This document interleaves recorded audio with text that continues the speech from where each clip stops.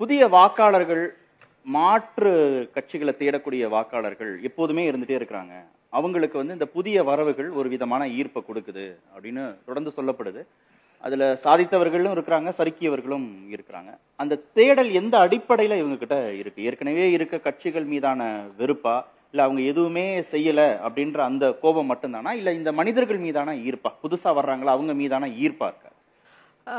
நம்ம வந்து தொடர்ச்சியா தமிழக வாக்காளர்களை பற்றி பேசல. நம்ம வந்து திரும்பவும் அரசியல்வாதிகளை பற்றி பேசியிருக்கிறோம் நடிகர்கள் பற்றி பேசியிருக்கிறோம். ஆனா தமிழகத்தின் தலையெழுத்தை தீர்மானிக்கக்கூடிய ஒரு வா வாக்காளர் இருக்காங்கல்ல அவங்களுடைய மூளை எப்படி வேலை செய்யுது அப்படின்னு பார்க்குறோம் அவங்க எப்பவுமே வந்து த ஃபிட்டஸ்ட் ஃபிட்டஸ்ட் எவனுக்கு எவன் சரி அவனோட தனி மனித பழக்கம் அவனுக்கு இத்தனை மனைவிகள் அவனுக்கு புகைப்பட பிடிக்கிற பழக்கம் இருக்கா அவன் பெண்ணிய இதுவா இதெல்லாம் பார்க்க மாட்டாங்க.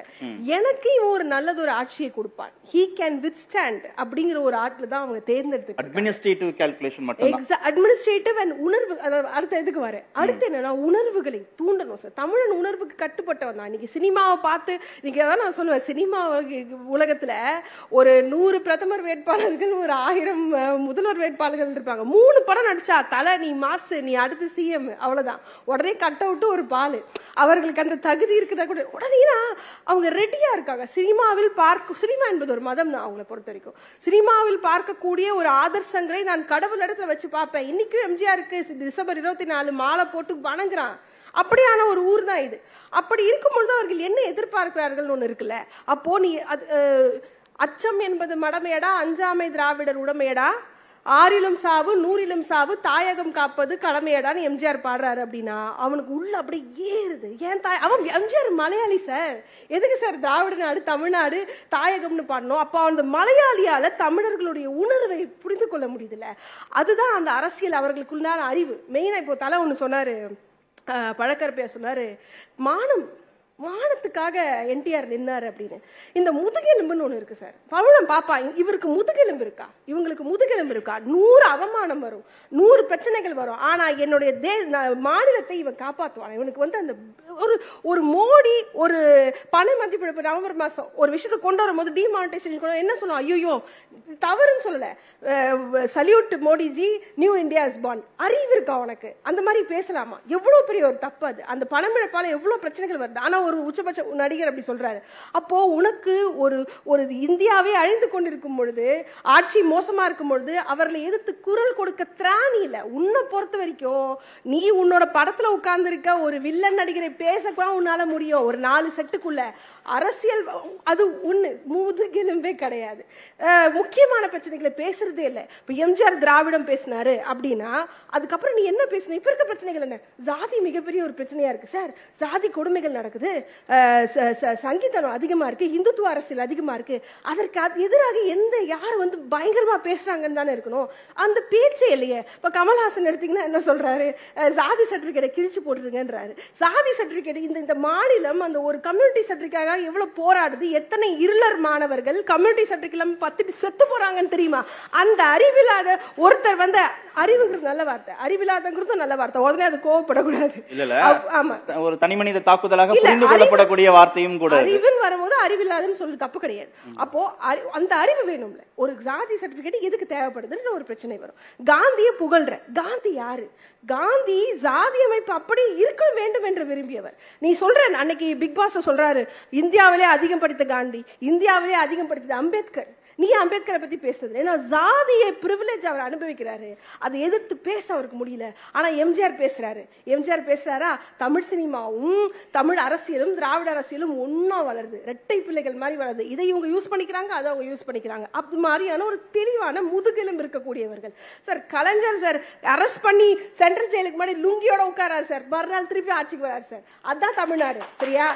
ஜெயலலிதா எடுத்துக்கோங்க. வண்டியில இருந்து தள்ளி முடிய பிடிச்சி இழுத்தாலும் ஒரு ஒரு முது முதுகெலும்போட ஆட்சிக்கு வராங்களே அதுதான் முக்கியம். ஆனா நீங்க உங்களுக்கு எங்க நடிகர்களுக்கு இல்லன்றீங்களா? இல்ல sir give me the proof the proof is in the pudding அது இல்ல இல்லைங்கிறதுக்கு என்ன ப்ரூஃப்னு கேக்கு பிகாஸ் தே ஒரு ஒரு நாலு செவரு இந்த நாலு இடம் இங்க என்னுடைய ரசிகர்கள் என்னை புகழக்கூடியவர் இங்க எனக்கு பிடிச்ச ஒரு அரசியலை நான் நாலு வரியில பேசிட்டு போறது கைத்தட்டல் வாங்கிருது காக்கா நரி கதை சொல்றது காக்கா கழுகு கதை சொல்றதா சார் அரசியல்?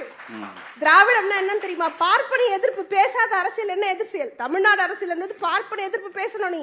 இந்துத்துவ எதிர்ப்பு பேசணும் நீ. உன்னால உன்னால அது பேச முடியுமா? அதுக்கப்புறம் தான் நீ காக்கா இல்ல இந்த கொள்கை விளக்கங்கள் இந்த சித்தாந்த விளக்கங்களை பேசக்கூடியவங்களை மட்டும்தான் வாக்காளர்கள் அரவணைச்சுக்கிறாங்களா? அரவணைக்கிறாங்க அவங்களுக்கு தெரியணும் சார் ஒரு காவிரி நதிநீர் ஆணையம் அமைக்கப்படல. என்ன பிரச்சனை? ஏன் அமைக்கப்படல? அது தெரியணும். ஒரு பணமாற்று நடவடிக்கையால இவ்வளவு பேர் உயிர் போயிருக்கு. அது பேச தெரியணும். ஜாதி பிரச்சனை பேச தெரியணும். சாப்பாடு பேச தெரியும் எல்லா பிரச்சனையும் பேச தெரியும். அதே மாதிரி அவ்வளவுதான். அதே மாதிரி என்னன்னா என்னோட அத்தியாவசியங்களை பத்தி நீ பேசுறா எனக்கு உயிர் போகுது. அந்த உயிர் போற பிரச்சனைகளை பற்றி நீ பேசினாதான் நீ என்னோட ஒண்ணா இருக்க முடியும். அப்புறம் இன்னொரு ஒரு விஷயம் இருக்கு. எல்லாரும் அரசியல் பண்றாங்க நடிகர்கள் ஆமா எல்லா நடிகரும் அரசியல் பண்ணுகிறார்கள் ஆனா அவர்கள் எல்லோருக்கும் அதற்கான ஒரு பிரெயின் நான் சொல்றது என்னன்னா ஒரு பொது அறிவு ஒரு உலக அறிவு. எல்லாற்றை பற்றியும் பேசக்கூடிய ஒரு நெட்வொர்க் பண்ணக்கூடிய எல்லாரையும் அனுசரித்து போகக்கூடிய கலைஞர் இருந்தாரு எல்லாரையும் அனுசரித்து போறாரு சார். எல்லா வாஜ்பாய் கிட்ட பேசுறாரு பிஜேபி கிட்ட பேசுறாரு. எல்லாரும் இன்க்ளூசிவா உட்கார்ந்து தன்னுடைய கொள்கையை விட்டு கொடுக்காம பேசுறாங்க. ஜெயலலிதா பேசுறாங்க. இல்ல இதுல என்னன்னா இன்னும் உள்ள வரவே இல்லையே இவ்வளவு பரிச்சை வைக்கிறோமே முன்னாடியே பண்ணணும். ஏன் உள்ளேயே வராம தானே ட்ரெயினுக்கு முன்னாடி தலைய வச்சாப்ல? எம்ஜிஆர் நாற்பது ஆயிரத்தி தொள்ளாயிரத்தி நாற்பதுல காங்கிரஸ்ல சேர்றாரு முப்பத்தி ஆறுல ஒரு முதல் படம் வருது. இந்த இந்த கேப் பாருங்க. தொண்டர்களாக அவங்க அரசியல்ல வராங்க. நான் என்ன சொல்றேன் இருபத்தைந்து வயதுக்கு முன்னாடி நீ அரசியலுக்கு வரலனா உனக்கு அரசியல்ல இன்ட்ரெஸ்ட் இல்ல. உனக்கு மக்கள் அரசியல்ல இன்ட்ரெஸ்ட் கட்சி தொடங்கின பிறகு அரசியல் ஆரம்பிக்கல. அரசியல் ஆரம்பிச்சுட்டு கட்சி தொடங்கணும். தொண்டரா இருந்து காங்கிரஸ்க்கு போய் திகா போய் டிஎம்கே போயிட்டு கடைசியில கடன் பிரச்ச- பிரச்சனைகளை பற்றி பேசிவிட்டு அதிமுக வரும்போது அவன் எம்ஜிஆர் ஒரு திராவிடியன் ஐகானை தான் பாக்குறான். ஆக்டருங்கிறது வேற. அண்ணாவை பற்றி எத்தனை பாடல்கள்? எல்லாமே இது. ஞான நான் அடிச்சா தாங்க மாட்டேன். நான் நூறு நாள் தூங்க மாட்டேனா?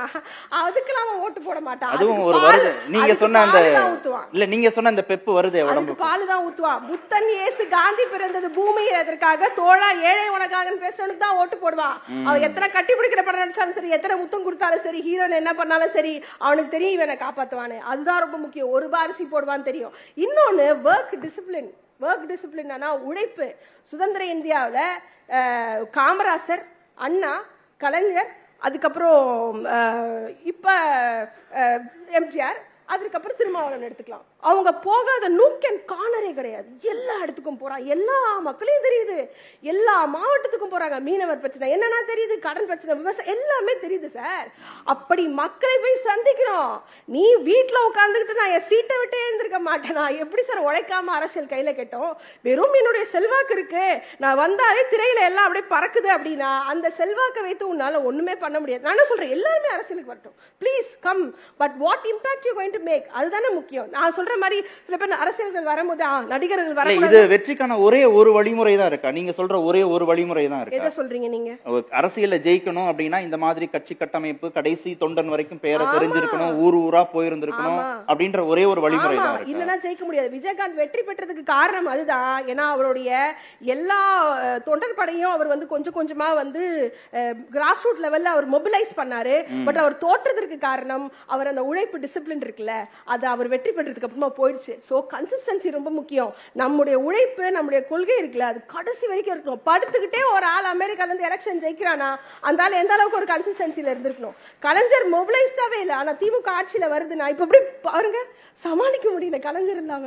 அப்போ கலைஞர் எந்த மாதிரியான ஒரு ஆற்றலோட இருந்திருக்காரு? ஜெயலலிதா ஜெயலலிதாக்கு அப்புறம் அதிமுக என்ன சார் ஆச்சு? அப்போ ஒரு பெண் உட்கார்ந்து உங்களுக்கு அவ்வளவு பெரிய ஒரு தாக்கத்தை ஏற்படுத்திருக்காங்களே அதை தான் தில்லு நெஞ்சு உரம்ங்கிறது. அறிவோடு சேர்ந்த ஒரு நெஞ்சுரம் சரியா? மோடியா லேடியான்னு கேட்க முடிஞ்சது இல்ல இப்ப கேட்பாங்களா? ஓபிஎஸ் எடப்பாடியும்? அதுதான் உண்மையான முதுகெலும்பு தமிழன் எதிர்பார்ப்பது. ரெண்டாவது என்னன்னா நான் சொன்ன மாதிரி அவர்கள் வெளியே போனோம். வெளியே போகாம அதாவது இப்ப கூட கமலோட பர்த்டே வந்தது. கை கொடுக்க கூட பயப்படுறாரு. ரசிகர்களுக்கு நீ அவனோட உட்காரணும் கலக்கணும் அவன் வீட்டுக்கு போனோம். அவன் மஞ்சள் நீராட்டு விழாக்கு கூப்பிட்டாலும் போனோம். அவன் வீட்டு கருமாதிக்கும் போனோம். அப்பதான் உனக்கு எட்டு பர்சன்டாவது வாக்கு கிடைக்கும். அந்த எட்டு பர்சன்ட் சீமானு கிடைச்சிருக்கா இல்லையா? நான் அவரோட அரசியல் இருந்து வேறுபடுறேன். ஆனா அந்த உழைப்பை சீமான் போடுறாரு. அதற்கான அறுவடை அவர் செஞ்சுட்டு இருக்காரு இல்லையா கேட்கவே.